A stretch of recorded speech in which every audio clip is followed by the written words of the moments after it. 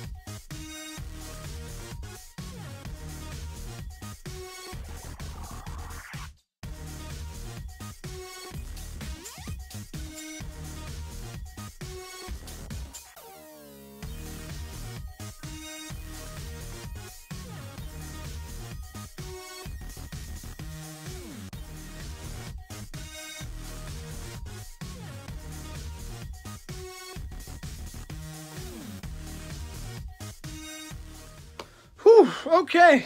Whew, that was uh, that was tough. That, that was an intense workout there. Um, but it was pretty good. Uh, I'm I'm happy that I did it. But yeah, um, that was it, and thank you.